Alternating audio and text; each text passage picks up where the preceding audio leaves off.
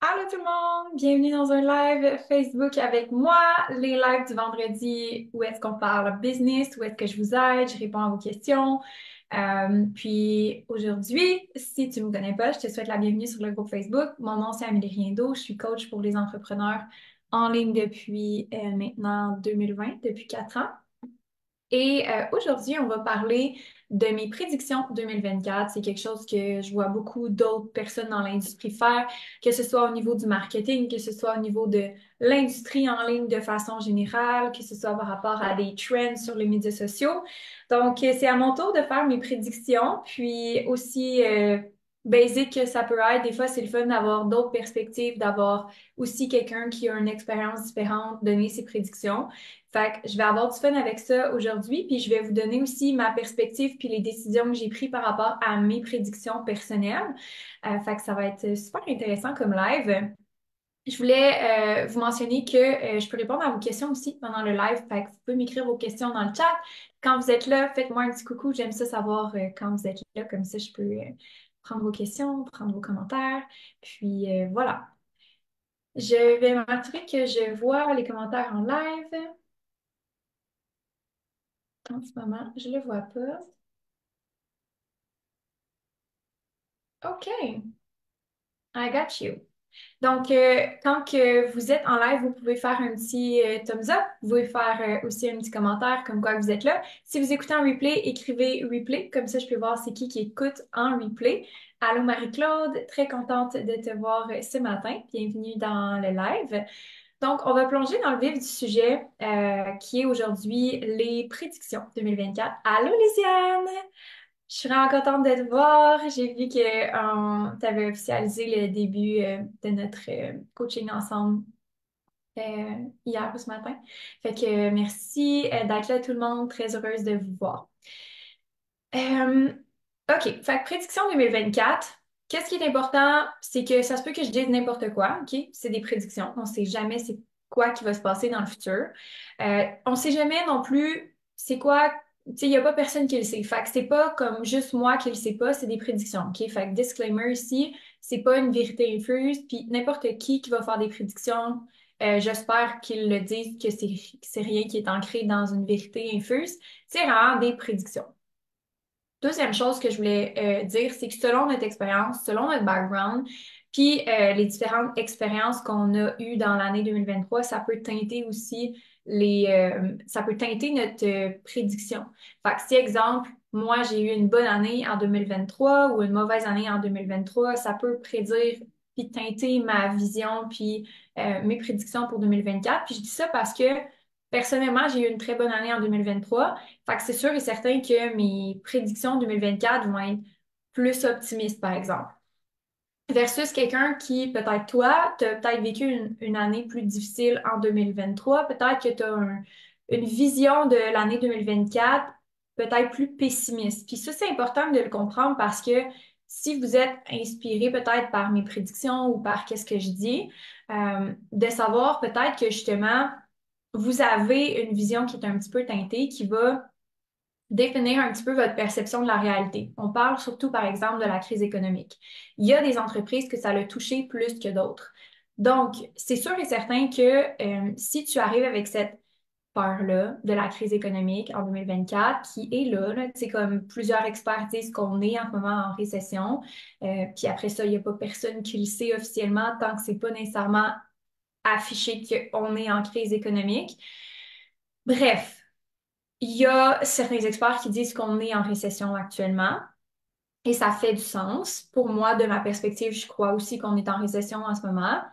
Et ma perception de la réalité n'est pas nécessairement connectée avec ce que, par exemple, on voit aux nouvelles parce que j'ai pas expérimenté de premier abord dans mon entreprise la même réalité. Puis j'ai beaucoup de clientes aussi qui n'ont pas été affectées de façon globale. Il y a certaines clientes qui ont été affectées par la crise économique ou la récession, qu'on va dire comme ça, euh, mais de, de façon globale, pas tant que ça. Donc, ça, c'est où est-ce que je viens. Maintenant, si toi, tu as eu des difficultés dans ton entreprise à cause de, euh, je sais pas, la récession ou autre chose, ça se peut que tu accroches pas à 100% avec ce que je dis. Puis, euh, c'est vraiment correct. C'est vraiment correct. Je veux être je veux être transparente sur qu'est-ce que, en quoi moi je crois, puis c'est quoi mes croyances, puis d'où est-ce que je viens. Mais ça veut pas dire que j'invalide ce que tu vis actuellement si tu vis autre chose que ça. Gros disclaimer, euh, mais ça, c'est un classique. Moi, je suis pas capable de juste donner mon opinion puis de dire voici ce que je pense sans faire un disclaimer avant. Des formations professionnelles, I don't know, mais je suis pas capable de juste dire voici ce qu'il y en est puis take it or leave it. Ben la misère avec ça.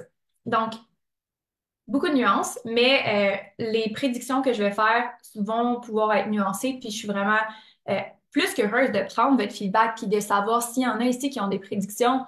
Tell me, peut-être qu'on va même faire ça. Je vais vous inviter à vous dire peut-être quelles, seraient les prédictions, une prédiction que vous auriez en 2024 par rapport au marketing, par rapport aux médias sociaux, par rapport à l'économie, par rapport à l'entrepreneuriat, euh, par rapport à l'entrepreneuriat en ligne. je serais curieuse de vous entendre. N'hésitez pas à le partager dans les commentaires. On va revenir là-dessus. Première prédiction de mon côté, c'est euh, au niveau du marketing. Je crois que les stratégies marketing qu'on a connues pendant la pandémie étaient vraiment basées sur un petit peu l'illusion, puis de vendre un rêve, pas un rêve euh, typique genre vendre quelque chose qui n'est pas vrai, mais beaucoup basé sur sortir un petit peu de cette réalité-là qui était vraiment inconfortable, qui était qu'on était pris en dedans, qu'il y avait beaucoup de choses qui fonctionnaient pas comme avant, qui étaient des, euh, des gros changements dans notre société. Euh, puis il y a eu toute la, la post-pandémie qu'on n'a pas encore vraiment encore discuté, euh, qu'on n'a pas pris le temps de documenter, mais tout l'aspect post-pandémie, où est-ce que les prix ont augmenté, où est-ce que beaucoup de gens ont fait des faillites à cause de la pandémie, beaucoup de, de traumas, j'ai l'impression, qui sont qui sont insérés, qu'on n'a pas encore pris le temps de, parler, de discuter. Mais l'anxiété reliée à ça, de l'incertitude, c'était vraiment une énergie collective qui était vraiment difficile. Et donc, les compagnies ont pas, pas nécessairement, c'est pas profité, ont utilisé ce, temps-là pour faire du marketing puis d'offrir des solutions. Fait que quand on a des solutions dans des périodes de crise comme ça, il y a plein de choses qu'on peut faire qui fonctionnent à cause de la conjoncture économique. Conjoncture économique, ça veut dire une situation dans laquelle la société est actuellement. Fait que, par exemple, dans cette conjoncture-là, les gens avaient de l'argent, étaient à la maison, il n'y avait rien à faire, puis il y avait des, tu sais, il y avait besoin de justement s'évader ou il y avait besoin de comme croire en quelque chose, puis il y avait besoin de se sortir un peu de cette réalité-là qui était vraiment inconfortable de façon globale. Je dis pas toi, je dis pas moi, je dis mettons de façon globale dans l'économie, dans la société.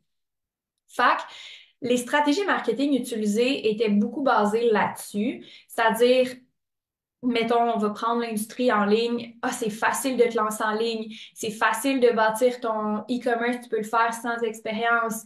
Euh, c'est facile de, de juste te lancer à ton compte. fait que tout, tout ce qui était relié à ce marketing-là fonctionnait super bien parce que les gens voulaient de la facilité. Ils voulaient quelque chose qui était comme Oh my God, genre, j'ai pas à me casser la tête, genre, je vais faire ça, puis je peux être à la maison, puis je peux continuer de faire ça, puis c'est une solution qui fait du sens pour moi en ce moment parce que je peux juste évader de la réalité qui est désagréable actuellement. Et donc, plein de choses comme ça qui, euh, qui, sont, qui, qui, ont été amplifiées, on va dire, parce que ça existait déjà, là. C'est pas comme si c'était nouveau avec la pandémie, ça existait déjà depuis vraiment longtemps. Euh, le marketing par le lifestyle, euh, les, les les, euh, euh, les money claims, j'ai pas le mot en français, mais tu partager les revenus en ligne, puis regarder comment c'est facile, ce genre de marketing-là était vraiment déjà là. C'était déjà là avant la pandémie, mais ça a accéléré le processus étant donné que les gens avaient désespérément besoin de s'attacher à quelque chose. Euh, puis c'est pas c'est pas nécessairement, tu sais, c'est pas mal intentionné de la part des entreprises, ni comme naïf nécessairement de la part des consommateurs parce que dans les deux cas, on était dans une situation économique qui était comme du jamais vu, du jamais vécu, puis il y a plein de décisions qu'on a prises qu'en rétrospective, on n'a peut-être pas pris les meilleures décisions à ce moment-là, mais on ne peut pas regretter ou on ne peut pas dire qu'on aurait dû faire différemment. C'était vraiment une situation qui était particulière. Tout ça pour dire que pendant plusieurs mois, années, ça fonctionnait vraiment bien. 2020, 2021, euh, tu pouvais facilement, faire ces stratégies-là. C'était c'était apprécié, slash, c'était comme popularisé, puis c'est devenu même quelque chose qui était valorisé de faire. Puis les gens, ils ont vraiment comme adhéré à OK, ben le, sentiment de manque. OK, fait faut qu'on crée un sentiment de manque. Cette stratégie-là, ça fait longtemps que ça existe. Après ça, il faut créer une illusion, il faut créer comme vraiment une aspiration. Puis pas juste une aspiration réelle, mais vraiment, vraiment pousser ça plus loin.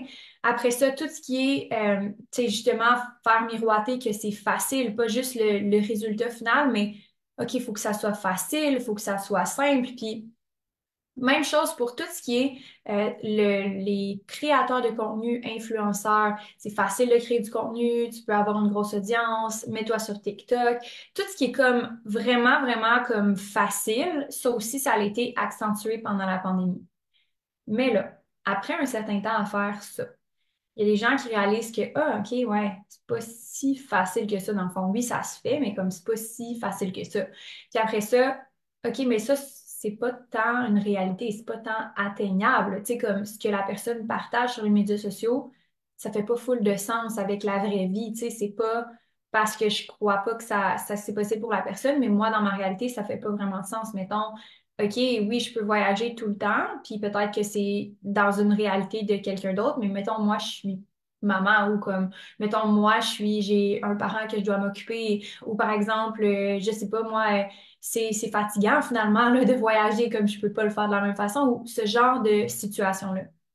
Donc, on se rend compte que finalement, cette illusion-là qui a été créée collectivement, c'est pas juste une personne, c'est pas juste une entreprise, puis c'est vraiment, comme je dis, relié à la conjoncture économique, ben, on a tout un petit peu adhéré à ça, euh, de part et d'autre, puis personnellement, moi, dans mon entreprise, il y a eu quelques moments que euh, j'ai adhéré à certaines choses, puis d'autres fois non. Mais de façon très consciente, je me suis quand même assez retirée rapidement de ce mouvement-là, étant donné que je savais que c'était temporaire, je savais que c'était pas durable, puis que c'était pas nécessairement ce que je voulais euh, partager comme entreprise, comme valeur, puis comme message. Mais c'est juste, ça a été une réalité collective de façon globale.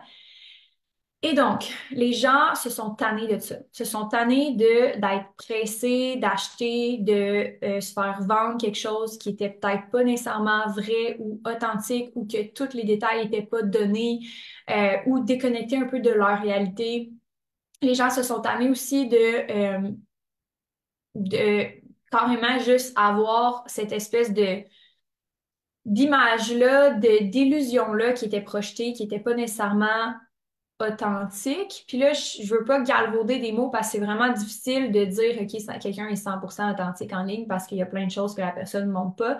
Mais des exemples, c'est comme la personne vous dit qu'elle a fait un million de ventes, mais elle vous dit pas qu'elle est dans les dettes de comme 100 000, puis que son entreprise ferme le lendemain. Puis ça, il y en a eu pendant la pandémie. Il y en a eu vraiment, vraiment beaucoup.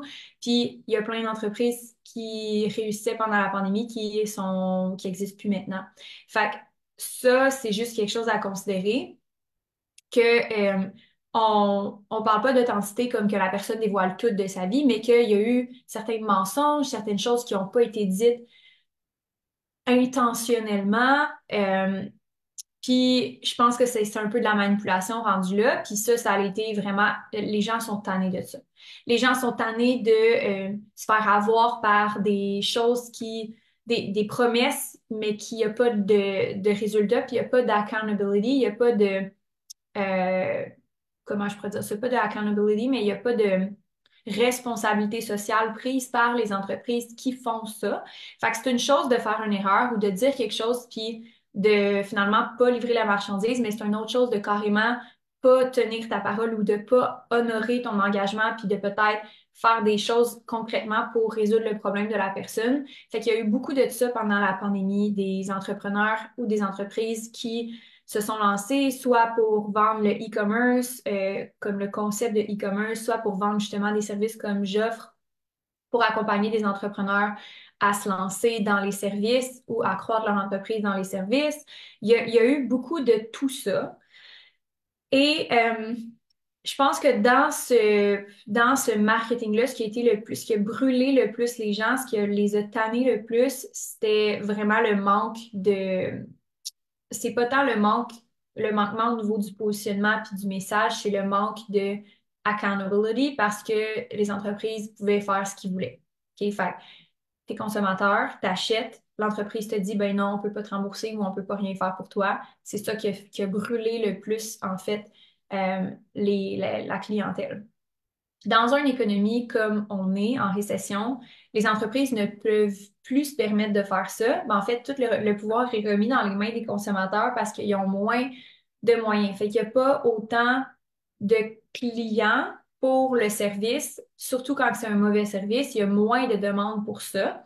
Fait que mettons que j'ai un, super bon marketing, je vais attirer encore des clients, mais euh, ce qui va vraiment tuer l'entreprise à ce moment-là, c'est que le consommateur, il est quand même assez conscient qu'il peut relever ses attentes un petit peu. Il est conscient que euh, il y a plus de pouvoir d'achat. Il est conscient aussi qu'il a peut-être vécu des expériences dans le passé qu'il n'est pas prêt à revivre, puis il est beaucoup plus euh, knowledgeable. Il y a beaucoup plus de connaissances par rapport à c'est quoi qui se fait, c'est quoi qui se fait pas, son pouvoir, son droit. Donc, ça, euh, dans, le dans le marketing, comment que ça va changer? C'est que les entreprises qui sont justement, euh, qui ont prouvé à travers les années qui étaient euh, témoins, qui, qui méritaient la confiance des consommateurs, vont vraiment se démarquer par leur marketing de cette façon-là. Dans les périodes de récession, c'est vraiment les entreprises de confiance qui restent. C'est comme les piliers, c'est les gens qui sont là pour les bonnes raisons, c'est les gens qui continuent de show up même quand, mettons, il y a une récession puis qu'ils ont moins de ventes, ils vont pas juste abandonner, ils vont vraiment mettre les bouchées doubles puis ils vont continuer de renforcer leur message de cette façon-là. Et euh, je me considère comme une entreprise de confiance. Fait c'est sûr que moi, ma stratégie par rapport à ça, c'est de continuer de miser sur qu'est-ce que j'ai déjà fait dans le passé, c'est-à-dire les résultats de mes clientes, les relations avec mes clientes. Puis ça a toujours été le cas, mais là, encore plus c'est vraiment d'utiliser puis de maximiser le lien de confiance qui a été développé dans l'entreprise depuis les dernières années, puis de, de le mettre de l'avant encore plus, de, de montrer qu'on est trustworthy, mais pas par, par nos mots à nous, mais sur nos clientes, puis euh, les résultats de nos clientes. C'est vraiment ça la, la base.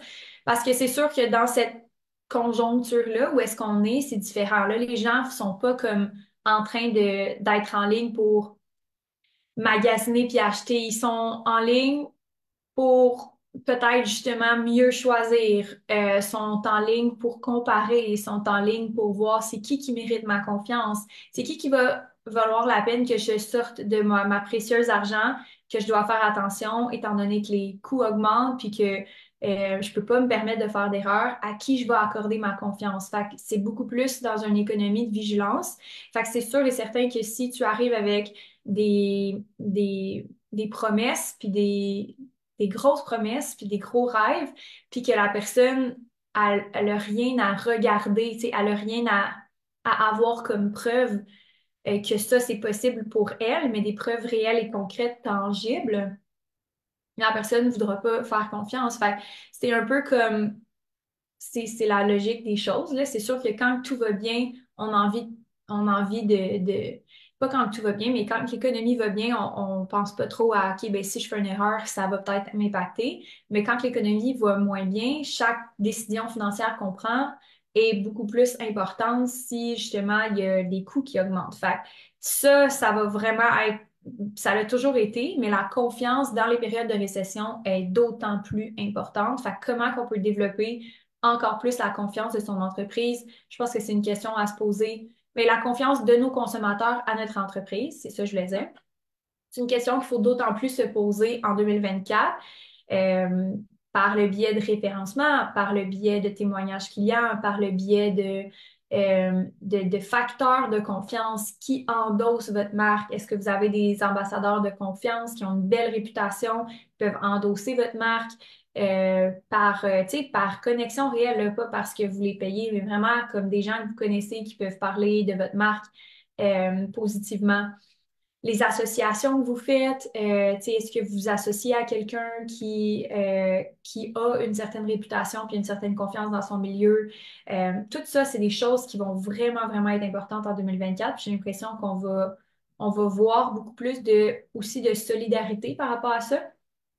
Je pense que les, les entreprises qui euh, réussissent dans ces périodes-là vont, vont beaucoup s'entourer, puis vont beaucoup euh, collaborer, on va dire, pour euh, justement créer cette, ce lien de confiance-là avec la, la, communauté et les consommateurs. voilà, fait que ça, c'est mes prédictions plus niveau marketing de façon globale. Je pense le mot développer la confiance plutôt que développer la visibilité ou comme développer la. Je pense pas, tu sais, ça c'est vraiment une question euh, subjective, mais mettons, si on pense à aller chercher de la visibilité, c'est important, mais c'est plus important quel genre de visibilité on va attirer par rapport à quel genre de confiance on développe avec cette visibilité-là. Si, exemple, je fais des contenus avec euh, puis ça, c'est un exemple que je donne souvent, que j'en ai parlé sur les médias sociaux, que je partage plus vraiment ce que je fais comme argent, je partage plus vraiment mon chiffre d'affaires. Ou si je le fais, c'est vraiment différemment. Tu sais, je vais peut-être plus parler en termes de généralité, euh, grossièrement, puis je vais peut-être donner euh, quelques pourcentages, mettons, mais je vais pas donner des chiffres ou je vais pas dire voici comment j'ai fait en 24 heures, voici comment j'ai fait en une journée ou whatever ou en un mois. Je vais y aller vraiment avec plus des trucs généraux euh, pour montrer certaines choses qui vont bien, puis montrer comment je suis arrivée, mais pas pour faire miroiter quoi que ce soit ou donner l'illusion que c'est facile ou ce genre de choses-là. Ça, je fais vraiment, vraiment, euh, je fais vraiment attention à ça. Euh, puis je pourrais le faire, puis je sais que j'aurai plus de visibilité consciemment. Mais la visibilité que j'attire en ce moment, c'est une visibilité de confiance. Les gens me font confiance parce que la façon que je le fais, les gens, la visibilité que j'attire sont comme la façon que tu le dis, la façon que tu le fais. J'ai confiance que, OK, c'est peut-être, c'est la réalité. J'ai confiance que ce que tu me dis, c'est vrai. J'ai confiance que tu ne me fais pas miroiter quelque chose, puis euh, tu l'adaptes à ce qui est bon pour moi. Puis c'est ça que je veux dire par la confiance est plus importante que la visibilité. Comment vous faites ça va avoir autant d'impact que le nombre de personnes que vous allez, que vous allez affecter. Fait que là, je parle en termes de, en termes de, de ma perspective, de mon entreprise, parce que c'est ça que je fais. Mais par exemple, dans une entreprise de mes clientes, exemple, je sais pas, euh, t'es styliste, on va dire ça comme ça. Euh, puis que euh, tu veux aller développer la confiance de tes clients. Ben, ce qui serait pertinent, c'est que ton contenu parle de tes clients, parle pour tes clients, puis que tes clients parlent pour toi, puis que tu développes justement cette conversation-là où est-ce que euh, tu vas montrer une de tes clientes qui est vraiment satisfaite. Tu vas après ça euh, montrer comment te rendre là concrètement. Puis après ça, tu vas pouvoir dire, exemple, euh, ça fait combien d'années je fais ça, puis tu vas pouvoir parler de comme à quel point c'est important pour toi de faire ça pour tes clientes, c'est quoi ta mission, tu le fais pas juste pour X, Y, Z, mais que tu as une mission plus grande derrière ça, puis tu vas expliquer aussi les enjeux que tu vis ou tu vas expliquer avec transparence certaines choses de ton entreprise pour que les gens ils sentent en confiance avec ton entreprise. Fait que, tu sais, la, la, base de la confiance, un, c'est la considération de l'autre, puis euh, l'ajout de valeur à l'autre, mais aussi la transparence, puis euh, d'être capable d'avoir des marques de confiance sociale, donc d'autres personnes qui endossent. Fait que si tu es styliste, entre autres, ce que tu pourrais c'est t'associer ou avoir une collaboration avec quelqu'un dans un domaine qui est connexe, peut-être une maquilleuse professionnelle, peut-être quelqu'un qui a une belle visibilité, qui partage ses looks sur les médias sociaux, mais qui n'est pas officiellement styliste, puis là, vous développez une belle relation ensemble, les gens associent cette personne-là à toi, puis il y, a une, confiance qui est bâtie. Fait que l'entraide, à ce moment-là, est vraiment important. Fait que bref, plein de petits petites choses à considérer en termes de confiance quand il s'agit d'une euh, récession ou cette période-là que je trouve vraiment importante de mentionner. Il euh, n'y a rien qui remplace ça. Vraiment, là, il n'y a, absolument rien qui remplace ça.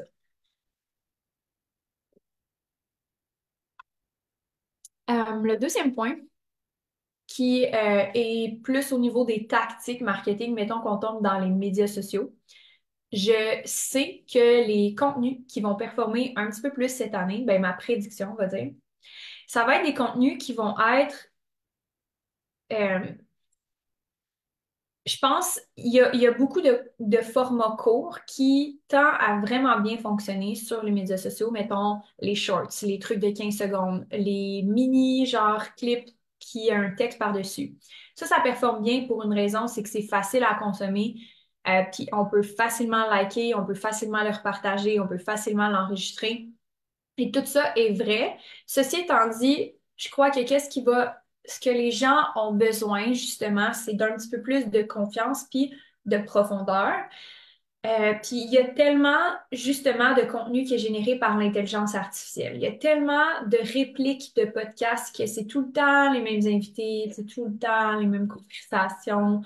Euh, don't get me started sur les podcasts, mais comme à chaque fois que je pense j'ai trouvé un podcast, un nouveau podcast, j'écoute, puis je suis comme, on dirait que c'est la même conversation que j'ai déjà entendue dans un autre podcast. Fait bref, il y a beaucoup de copier-coller de plein de choses, puis c'est, c'est pas, pas nécessairement une mauvaise chose, c'est juste que on en voit beaucoup. Fait qu'il y a beaucoup, beaucoup, beaucoup de contenu qui est généré par l'intelligence artificielle, puis même moi, de mon côté, j'ai euh, mes, certaines de mes vidéos sont éditées par l'intelligence artificielle. Fait que je, je sais c'est quoi. C'est sûr que mon contenu va être différent. C'est pas l'intelligence artificielle qui, proprement dit, génère le contenu. C'est du contenu qui est généré par moi. Mais, euh, ça va, la déneigeuse?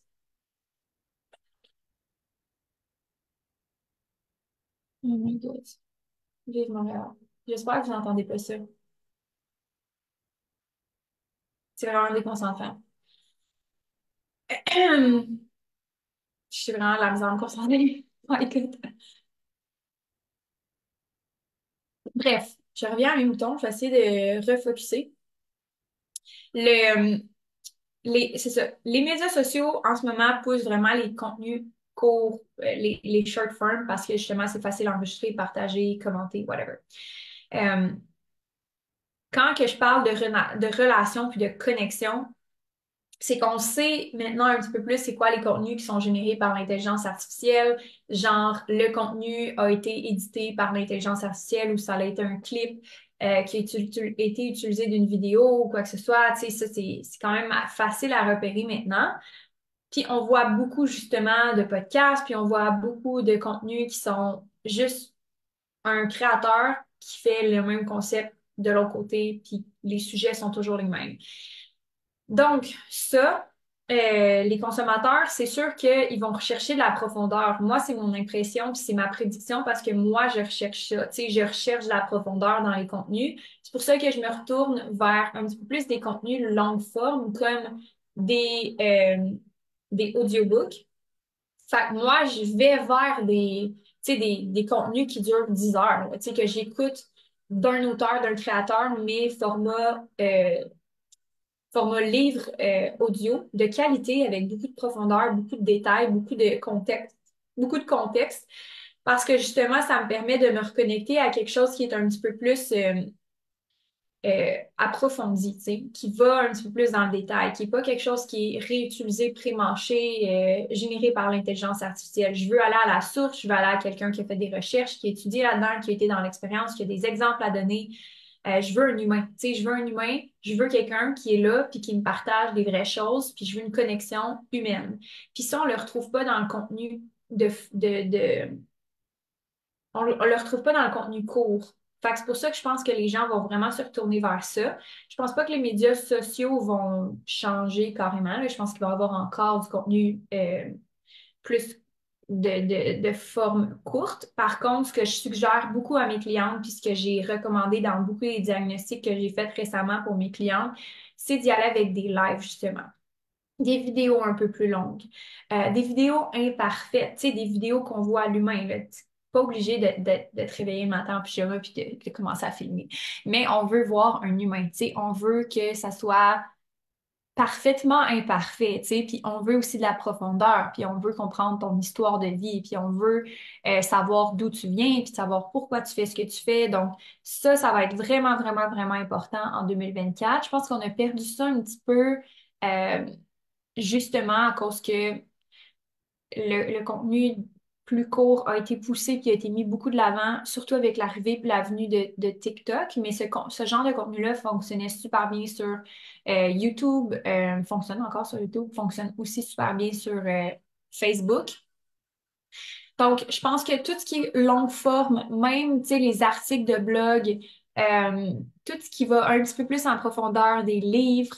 Tu sais, c'est pas obligé quand on parle de marketing, de stratégie marketing, c'est pas obligé d'être du marketing traditionnel. Les infolettres aussi, ça amène un peu plus de contexte, ça amène de la proximité. Si on est capable d'aller chercher cette proximité-là puis d'aller en plus en profondeur aussi, c'est toutes des stratégies marketing qui vont être vraiment gagnantes en 2024. Fait que cette profondeur-là, podcast excellent, un podcast pour aller chercher cette profondeur-là, en autant que ça soit pas justement quelque chose qui est euh, trop générique, qui est comme quelque chose qu'on peut retrouver ailleurs. Puis en autant que vous parlez de votre expérience, je pense que ça, ça va vraiment être quelque chose que je vais mettre de l'avant. Tu sais, c'est votre histoire, votre expérience qui va faire que ça ne sera pas la même affaire sur tous les podcasts. Par exemple, c'est pas comme un invité qui va arriver puis qui va parler d'un sujet, mettons, l'intelligence artificielle sur quatre podcasts différents. Puis là, tu l'as entendu des fois à l'autre entrevue, puis là, il y a une version différente un petit peu, ou comme le sujet vraiment global de, mettons, la confiance en soi, ou le sujet vraiment global de du c'est pas qu'on s'en fout, mais on veut ton expérience à toi, on veut des exemples concrets de ta vie, on veut apprendre à te connaître, puis encore, ça renforce mon point que les gens vont vouloir cette connexion humaine-là, ils vont pas juste vouloir avoir l'impression qu'ils te suivent sur tes médias sociaux, ils vont vouloir ça, vont vouloir qu'on vraiment te suive toi. Puis de pas suivre un idéal ou comme une image de toi, mais vraiment suivre toi parce qu'il t'apprécie comme personne. Fait que ça, ça va être d'autant plus important. Puis, tu sais, je pense que ce, point de contact-là peut se développer de plein de façons, soit justement sur des vidéos euh, plus longue forme, des podcasts, des blogs, euh, des lives. Euh, ça, ça va être vraiment, selon moi, ce qui va être le plus performant en termes de, d'entreprise, en tout cas. Peut-être pas pour être influenceur, mais c'est pas pour ça que tu es ici. Mais tu sais, si tu veux vraiment miser sur une audience qui convertit, qui achète, je pense vraiment que ça, ça va être important. Euh,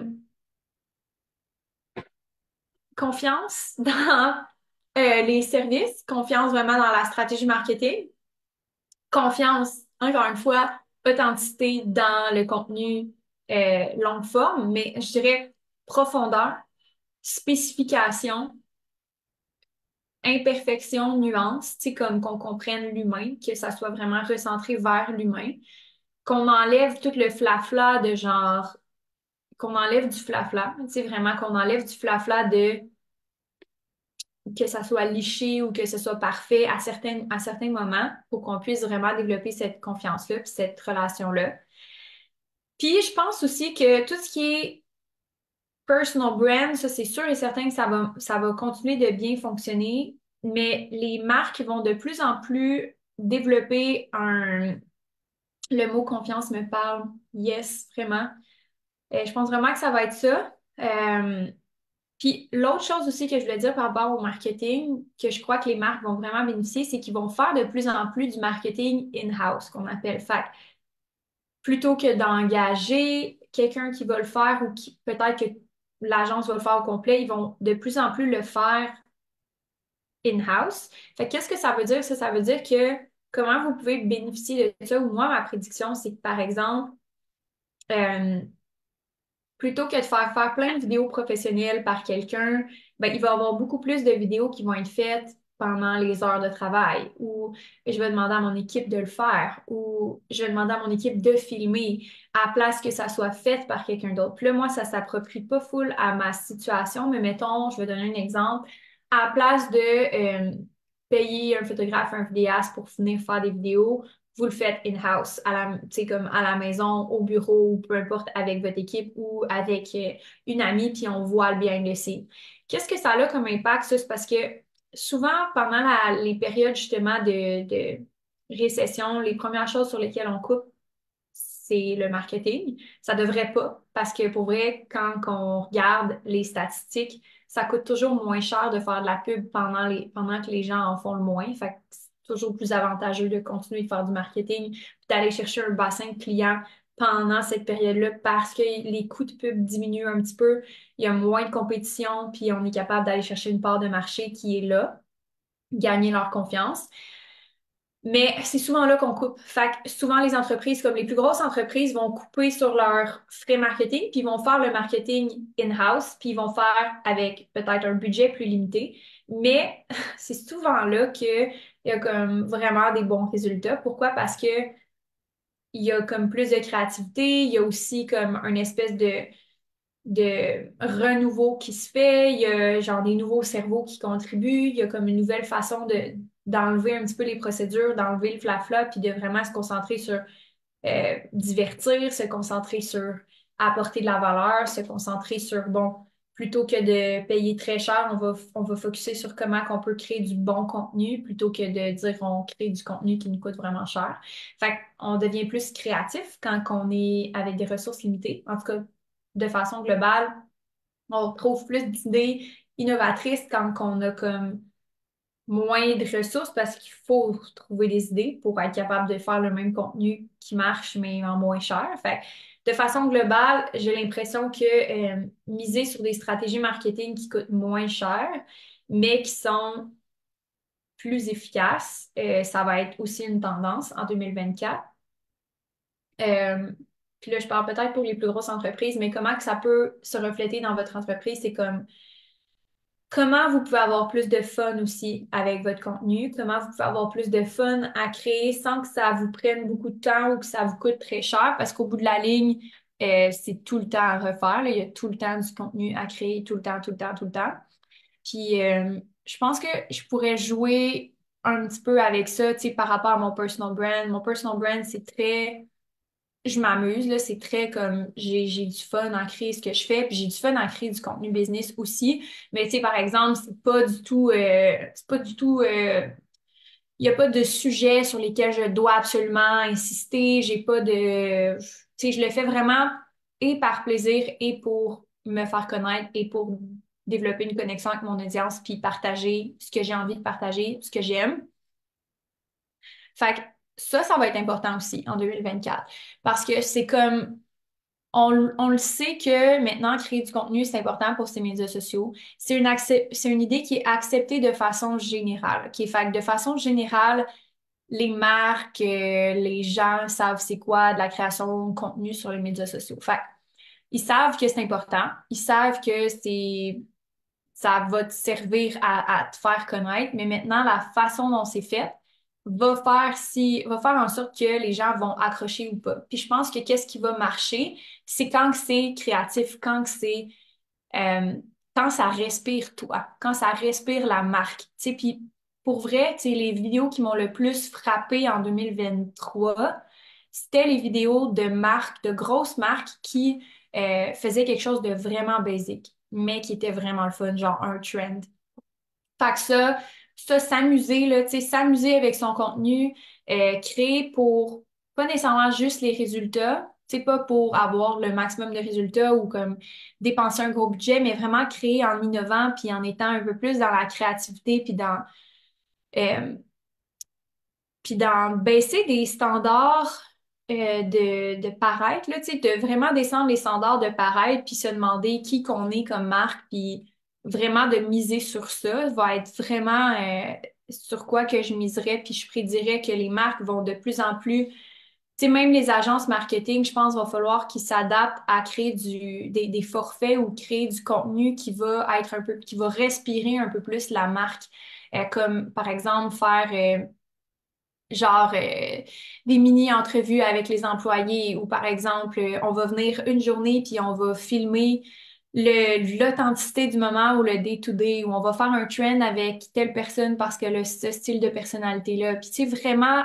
que ça respire la marque plutôt que de dire, OK, on fait une stratégie euh, qui euh, va demander un, un photoshoot stagé, etc., etc. Tu sais, ça va vraiment être important que le, la marque respire. Puis j'ai de la difficulté à le, à l'exprimer, mais je vais donner un exemple. Il y a une marque de vêtements qui euh, leur contenu avait absolument pas rapport avec leur avec les là. Ça avait absolument aucun rapport, mais sont allés vraiment dans la dans la branche du divertissement. Je trouvais ça vraiment smart. Ils ont comme tout mis le- leur office, ils ont tout mis leur euh, le monde du bureau, puis ils ont fait un trend, puis se sont mis à comme danser en rond.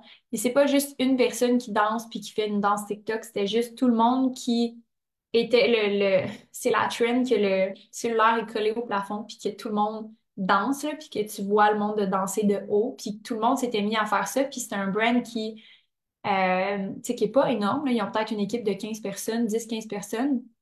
Cette vidéo-là a été virale, il y a eu comme 2 millions de views.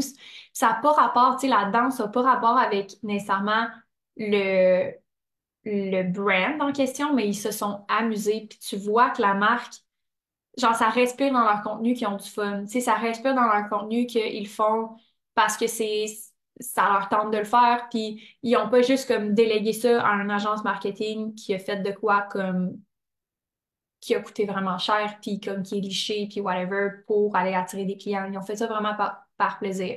Fait que ça, ça va vraiment respirer, tu sais, le plaisir, en tout cas pour moi. Puis encore une fois, je suis vraiment teintée, puis je suis vraiment biaisée parce que moi, c'est mon opinion. Mais moi, je pense vraiment que le plaisir, ça va être dans mon contenu, ça va être encore plus. Puis ça l'a été en 2023. J'ai vraiment commencé à créer du contenu personnel solidement en 2023, puis j'ai du fun à le faire en 2024, comme encore plus là-dedans. Là. Tu sais, vraiment, vraiment m'amuser.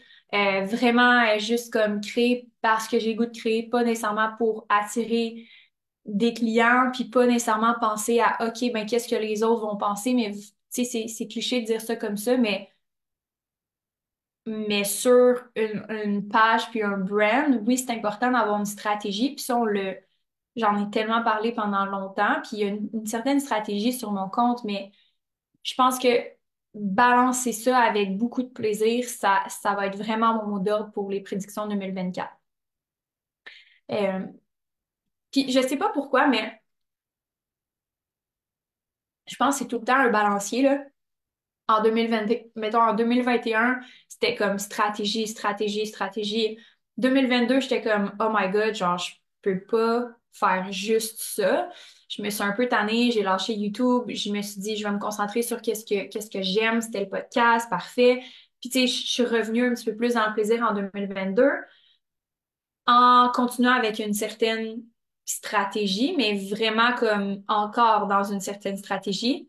En 2023, là, je suis allée vraiment comme, OK, là, je veux vraiment m'amuser avec mon personal brand, je vais all-in sur ça. Euh, je veux m'amuser sur le podcast, je veux faire quelque chose qui est simple, je veux faire quelque chose que j'aime, c'est-à-dire du coaching, donc j'ai fait ça. Puis, vers la fin de l'année 2023, là, on était vraiment sur, j'ai j'ai onboardé une nouvelle personne aussi dans l'équipe pour la gestion des médias sociaux. Puis avec elle, on a mis une structure en place, une certaine stratégie pour que je sois en mesure de le déléguer.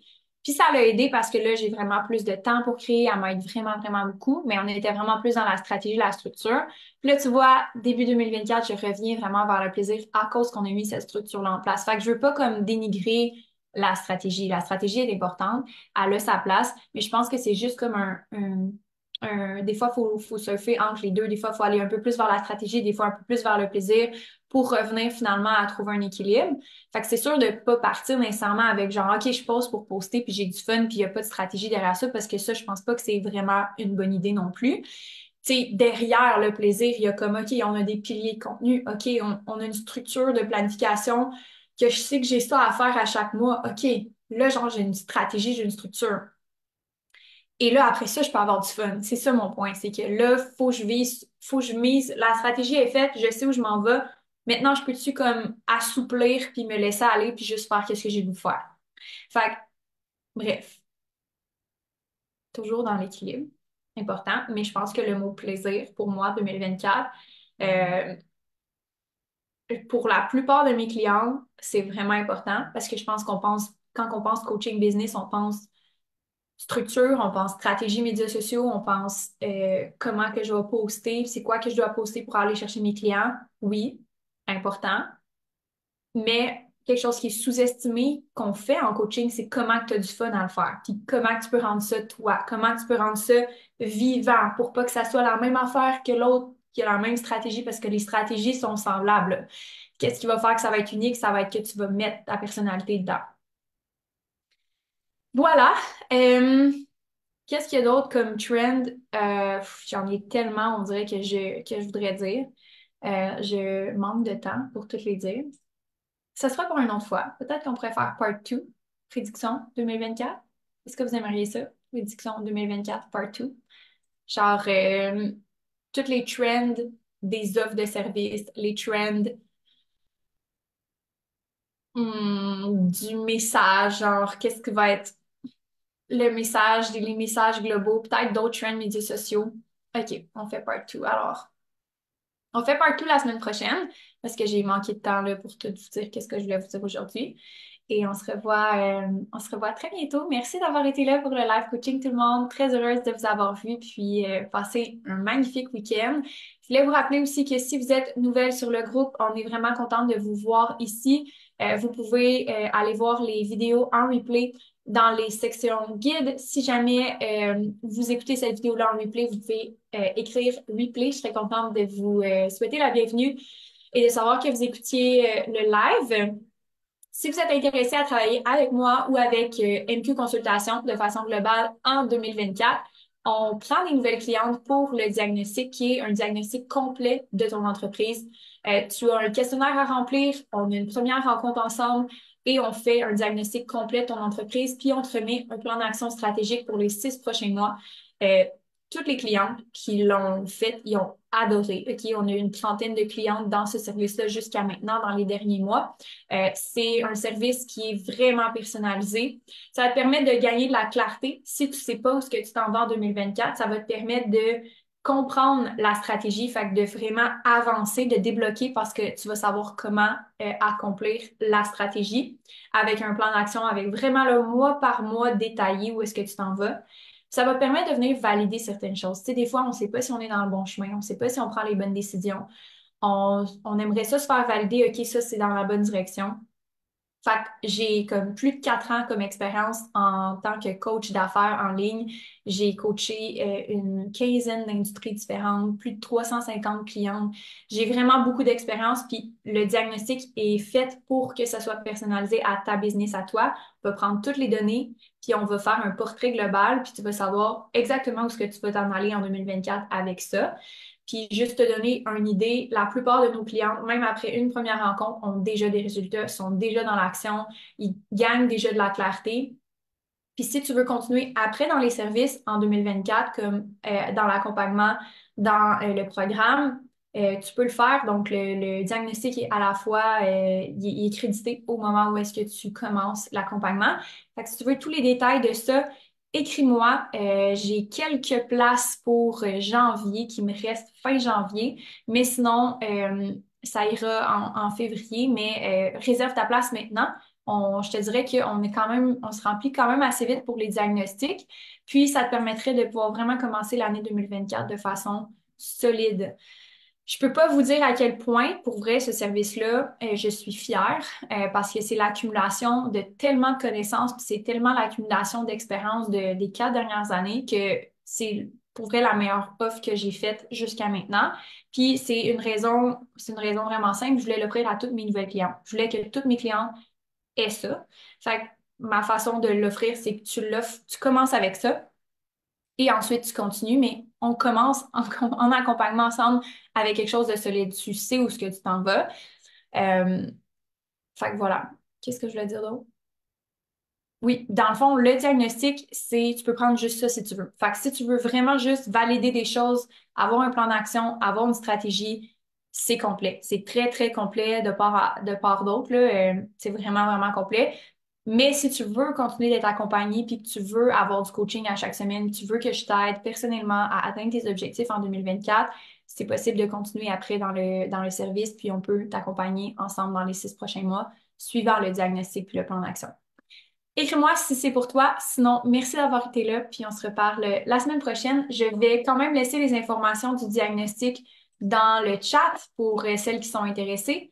Puis, euh, et voilà juste là.